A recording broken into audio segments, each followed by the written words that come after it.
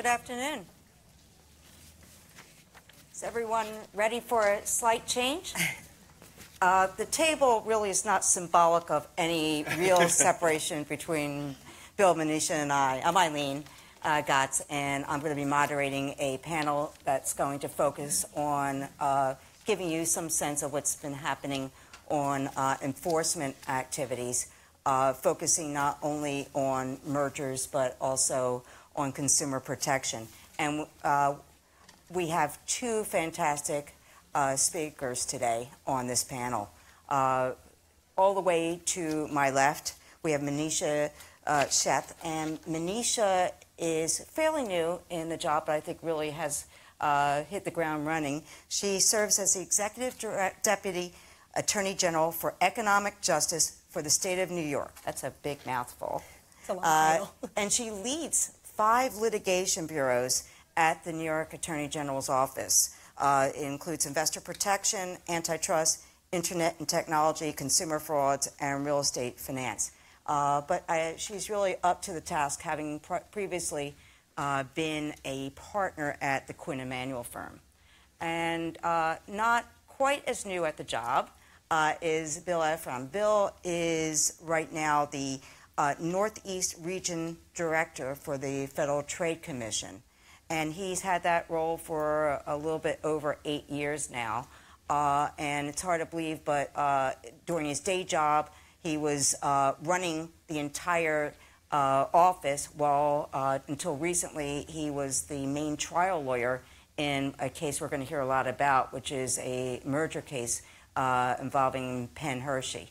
Uh, and with that, I think uh, perhaps we start with you, Manisha. Sure, Be that'd okay? be great. Well, thank you all for being here, and thank you for inviting me to this year's Big Law Business Summit and giving me the opportunity to talk with you all. And I apologize in advance for my voice. I'm just managed to catch the office bug and am battling this uh, this bug. Um, as Ilene mentioned, we over the Economic Justice Division at the New York Attorney General oversees five litigation bureaus. Um, I would say that the mission of the division is to improve the economic well-being of all New Yorkers by ensuring that consumers and investors are protected from fraudulent, deceptive, and illegal business practices.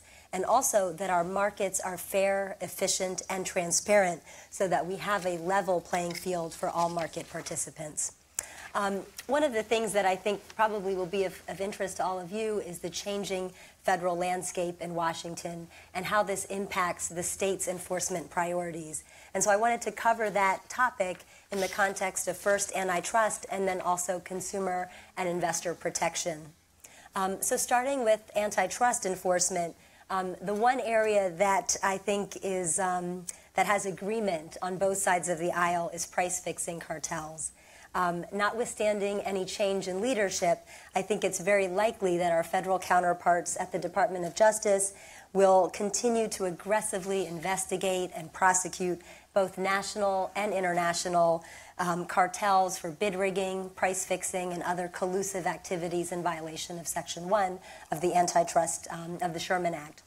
Um, now, the New York Attorney General's office will continue to coordinate with Main Justice um, in these efforts where there is an impact on New York communities, New York consumers, New York markets, New York businesses.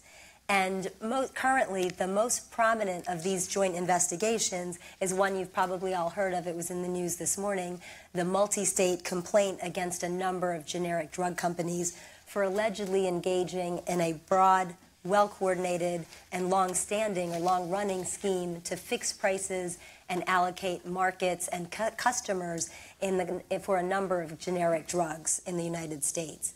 Now, the DOJ has already obtained a number of guilty pleas of executives from two individuals, and led by Connecticut, New York, and approximately 38 other states are pursuing this, these price fixing claims on a civil basis under Section 1 of the Sherman Act. Um, another prominent matter that um, you may have heard of that also affects the healthcare market is the office's joint investigation of alleged collusion um, by suppliers of saline. And saline is one of the most widely used products in hospitals. Now, in these, in addition to these national cases, the New York Attorney General will continue to focus its efforts its enforcement efforts on conspiracies between and among New York businesses, but also conspiracies that have a predominantly local impact on New York markets.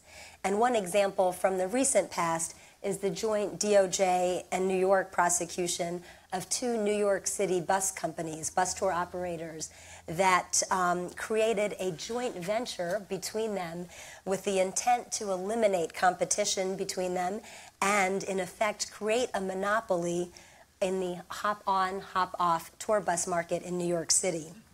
In fact, these, these two uh, bus operators used the joint venture to raise fares by 10 percent. Um, this case was successfully resolved through a settlement, uh, pursuant to which the defendants agreed to divest 50 bus stops in Manhattan, and they also agreed to pay $7.5 million in disgorgement of the, to disgorge the uh, illegal profits that they received um, by operating this illegal joint venture for six years. And this was on top of the $19 million in restitution that was obtained as a result of a settlement in a private class action. Now, we've heard recently um, from President Trump that uh, there may be um, major infrastructure uh, projects that happen in New York State. And um, to the extent that that occurs, our office, the New York Attorney General's office, will be vigilant in ensuring that any bidding on such projects is not effect- infected with uh, anti competitive practices. In fact, the office has a number of ongoing active investigations into bid rigging that affects New York State procurement entities. And I can tell you that investigations and prosecutions of those who defraud New York State procurement agencies and as a result, New York taxpayers will be a top priority. And given that the AG's office has the authority, excuse me, to bring criminal charges under the Donnelly Act, we will not hesitate to bring such charges where appropriate for hardcore price fixing and bid rigging activities. Turning to Section 2, um, monopolization investigations by the FTC and the DOJ were relatively rare during the Obama administration, and we don't expect there to be um, much change in that regard with our federal counterparts. And New York has traditionally and historically pursued those cases, the Section 2 cases, where there's a substantial harm to a New York consumer, to New York consumers, or to a New York market. And this will not change. These investigations tend to be long, complex, and require a lot of resources. That said, the New York AG will continue to focus its resources on cases one, where there's a unilateral conduct that is aimed at foreclosing competition, and two, where such conduct has an anti competitive effect in New York by harming consumers and businesses. And there's a number of industries where there's a potential for this type of abuse of a monopoly power, including healthcare, fintech, and the entertainment industry. For example, in the pharmaceutical sector, we have seen anti competitive conduct by incumbent drug, drug companies that are intent on improperly maintaining their monopoly power. And this conduct includes, among other things, one, engaging in restrictive distribution arrangements that prevent generics from obtaining samples of branded drugs for bioequivalence testing. Two, product hopping, and this was um, the focus of the New York Attorney General's case against case against Namenda, um, an anti-Alzheimer's medication. And three, exclusive arrangements with suppliers of the active pharmaceutical ingredient. Um, with regard to merger enforcement, um, there are a number of large merger investigations that are pending with the FTC, the DOJ, and our office.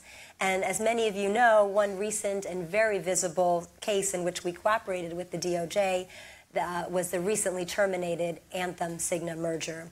And this was a great model for federal state cooperation, and we really would like to see that cooperation continue, particularly given the increased concern about record levels of industry coordination, uh, industry concentration, and the increasing difficulties of fashioning relief in the face of such um, concentration.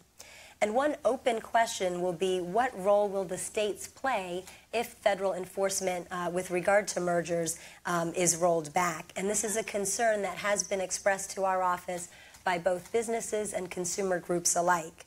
Um, and it's important to remember that the states have historically had and continue to have extensive powers to investigate and challenge mergers.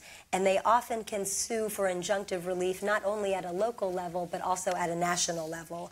So I don't think it'll be a surprise to anyone to hear that the New York AG um, is taking appropriate steps to ensure that states can fill this void to the extent it does occur. Now, let me turn now to consumer and investor protection areas. Um, there much remains to be seen in these areas. Uh, as we sit here today, the D.C. Circuit um, is rehearing en banc argument on the constitutionality of the CFP of the independent single director structure of the CFPB. And meanwhile, in Congress, um, it remains to be seen how far the Choice Act and its accompanying rollback of Dodd Frank and its protections, including a proposal to strip the CFTC of its authority to file suits over alleged unfair, deceptive, um, or abusive acts and practices, how far that will go. But in the interim, I think we can expect to see continued vigorous enforcement at the state level and this office's priorities in terms of consumer protection are one, housing and um, mortgages, two, education and training, and three, health and safety. Now, first, with regard to housing and mortgages, the office investigates and prosecutes a number of deceptive and fraudulent practices aimed at homeowners and rent regulated tenants. There are a number of active investigations in the office um, of various deceptive practices by mortgage lenders, mortgage servicers, and most recently, private equity firms who have invested in real estate. Now, second, the office has investigated and continues to investigate a number of for profit colleges and other educational and vocational establishments and student loan servicers the most famous of which was our litigation against the Trump University, which recently resulted in a settlement earlier this year of $25 million. Now, the office has been focusing its efforts on those institutions that claim to provide or that sell services to students that are useless services and they're selling them under the guise of being educational or vocational services. We've also prioritized those um, cases where entities are falsely inflating the job placement statistics um, or job placement rates after graduation. And third, where they engage in deceptive student loan servicing practices. Now, this last area is particularly um, likely to be a focus given the rollback on the federal enforcement side. As many of you know, on April 11th, the Department of Education revoked a number of important student, student loan servicing reforms. And these included um, uh, measures that compelled or directed the Department of Education to include incentives in its contracts with servicers that encourage servicers to help borrowers stay current on their loans rather than and avoid default.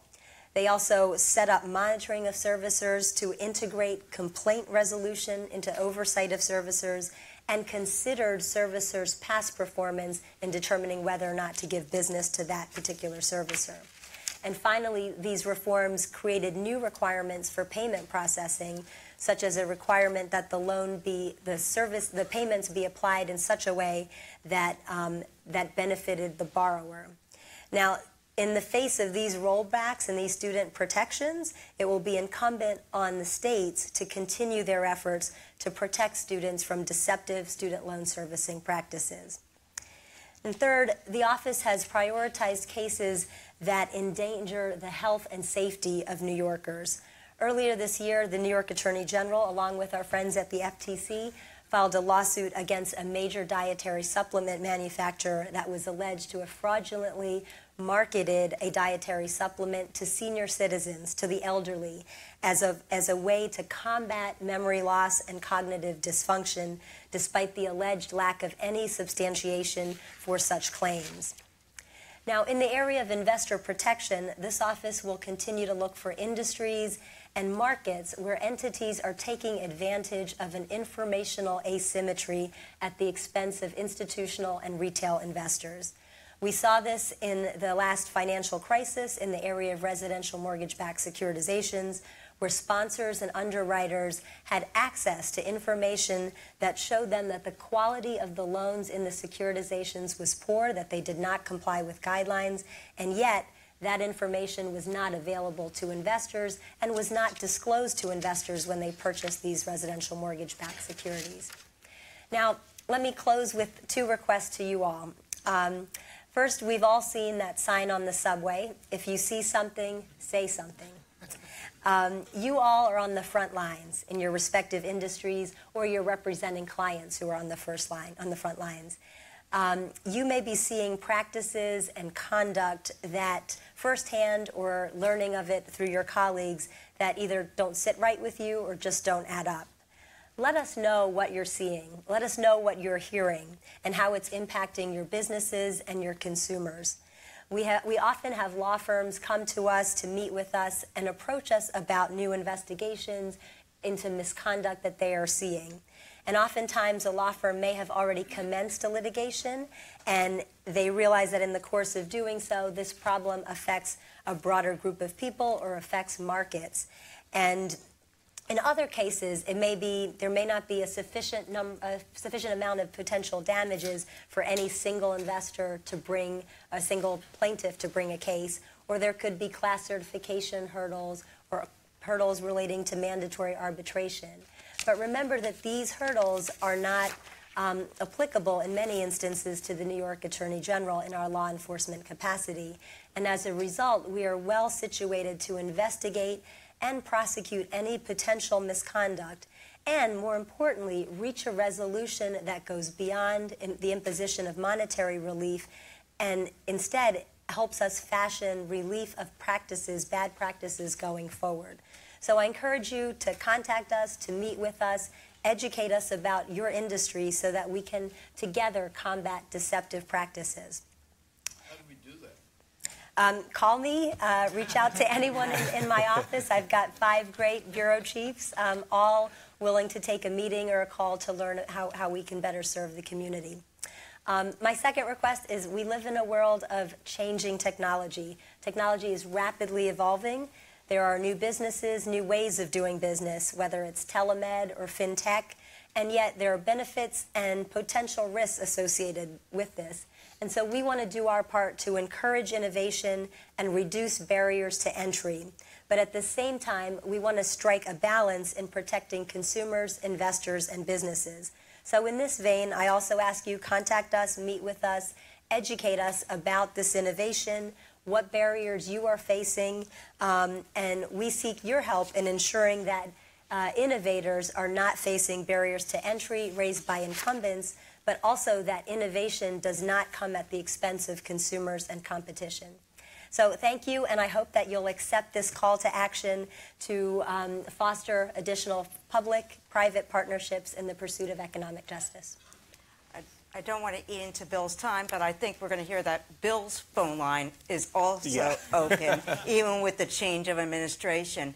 And the one thing I kind of, you might say, what Northeast region, uh, the isn't the FTC in Washington, and I think what you're going to hear is there are uh, the regions, especially the Northeast region of the FTC, uh, has real responsibility uh, not only for uh, what would be localized uh, matters, but for, for instance, in the financial sector and in pharma and other things. And so with that, I want to turn it over to you, Bill. Well, thanks so much, Ilene. Really happy to be here. Happy to be here with my fellow state, uh, my fellow enforcer, Manisha. Um, just before beginning, I'll just get out the standard disclaimer that I'm speaking for myself and the statements I make and the views I express here today are my own and don't necessarily reflect those of the commission or any individual commissioner. Um, as Ilene alluded to, uh, I'll just say a few words about the Northeast region. So, uh, in my capacity as regional director, um, on behalf of the Bureau of Competition, uh, we oversee litigations and investigations that relate both to mergers uh, and conduct, and that's in an array of industries. And then similarly, I also supervise uh, on behalf of the Bureau of Consumer Protection um, investigations and litigations involving unfair uh, and deceptive practices. So we do we do cover a lot of, of, of ground. And as Ilene mentioned, those those cases are not only uh, in, in, in our region, but those cases have nationwide impact.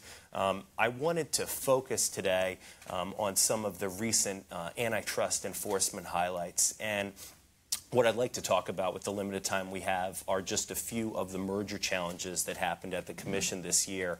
Uh, notably, uh, the FTC blocked three mergers uh, in court this year, um, and in, in, so doing, we preserved competition uh, in the market uh, for office supplies sold to large business customers and in two local hospital markets. Uh, let me start with the Staples Office Depot case, which I'm sure many of you have, have read about. So, just by way of brief background, in December of 2015, uh, the Commission unanimously authorized a challenge to Staples' $6.5 billion acquisition of Office Depot.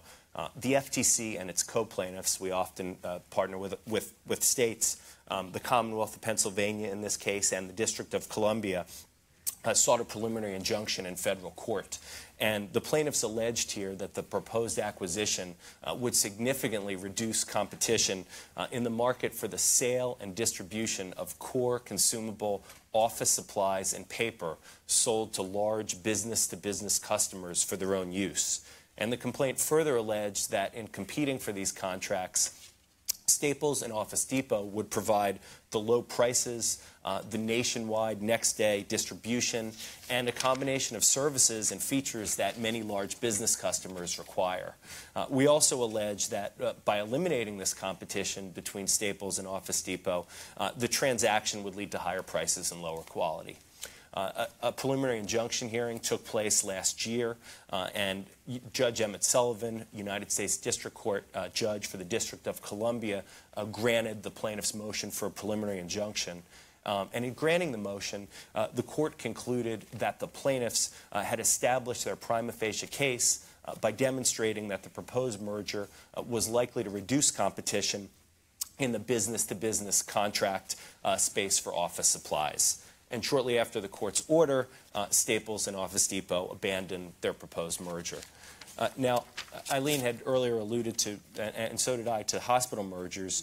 So let me let me discuss the the Hershey case. This is the Hershey Pinnacle Hospital merger, uh, where in September uh, the commission obtained a Third Circuit appellate court victory. Uh, this was a case that was litigated by the Northeast region.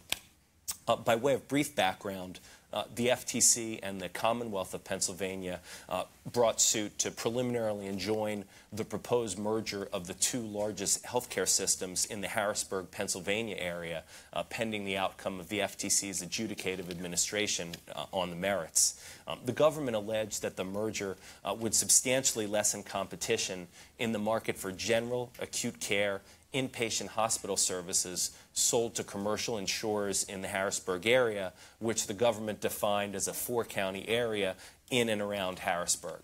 And the government further alleged that the merged system would control 76% of the market, and therefore this would significantly increase concentration in an already concentrated market, rendering this merger presumptively unlawful. And geographic market definition was the key to this case at trial uh, and on appeal. And, and, the crux of the government's case with respect to geographic market was that the evidence showed that insurers needed Harrisburg area hospitals uh, in their networks because area residents overwhelmingly want local hospital care. And because of this demand, insurers could not market a network to Harrisburg area employers without any Harrisburg area hospitals. And, and therefore, insurers would pay a price increase to avoid that result. And accordingly, uh, the Harrisburg area satisfied the hypothetical monopolist test. So a five-day hearing uh, was held last April, and afterwards, the district court judge in May uh, denied the government's motion on the basis that we had failed to prove a relevant geographic market. And the court focused on the fact that 43.5% of Hershey's patients came from outside the Harrisburg area. And this indicated to the district court that the government's proposed geographic market was, was too narrow.